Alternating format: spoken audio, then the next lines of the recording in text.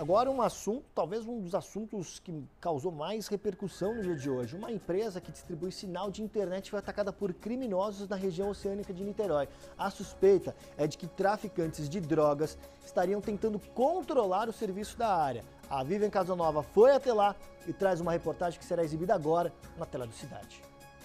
Câmeras de segurança flagraram a ação dos criminosos. Era madrugada. As bombas caseiras foram lançadas por cima do muro e caíram no pátio da empresa fornecedora de internet por fibra ótica em Itaipu, em Niterói. O fogo se espalhou rapidamente. Um morador registrou o momento em que os bombeiros chegaram ao local para combater o incêndio. Os bombeiros acabaram de chegar, graças a Deus, não ia explodir tudo quanto é carro, porque também tem um estacionamento, né? Seu Paulo, que mora em frente à empresa, conta que foi um tremendo susto. Fui acordado primeiro com um barulho, né, muito grande, e aí quando eu abri a porta da, do meu quarto, que é aqui em cima, é... quando eu abri tinha um fogo enorme, né, e, e o susto foi muito grande porque tem muitos carros, ficam muitos carros parados ali, né, ali à noite fica estacionado todos os carros da empresa.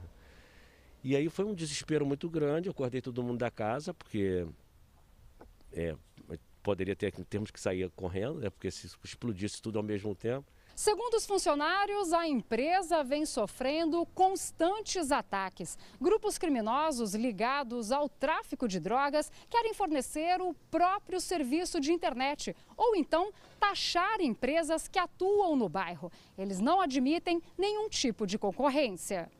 Sete carros foram atingidos pelas bombas caseiras nesse último ataque. Este aqui foi completamente destruído pelo fogo. No porta-malas, rolos de fibra ótica. Com medo, proprietários e funcionários da empresa não quiseram gravar entrevista. Em nota, a Polícia Civil informou que instaurou o inquérito para investigar o caso. Uma perícia já foi feita no local. Os agentes esperam que câmeras de segurança da região tenham registrado o deslocamento dos criminosos para assim poder identificá-los.